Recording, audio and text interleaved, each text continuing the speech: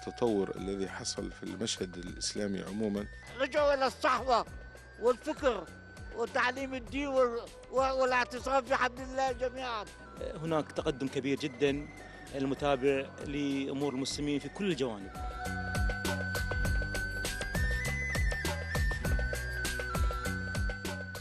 إنفاق على المشاريع الخيرية وعلى المشاريع الإسلامية. بعض المسلمين للاسف في اوروبا لا يزالون الى حد الان ينظرون نظره دونيه للمراه ربتني الام على النصرانيه ثم اعتنقت الإسلام قبل 22 سنة.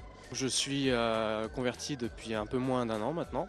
Le fait de devenir musulman ne, ne, ne, ne c'est pas une rupture totale avec la, avec la période précédente, c'est une prolongation.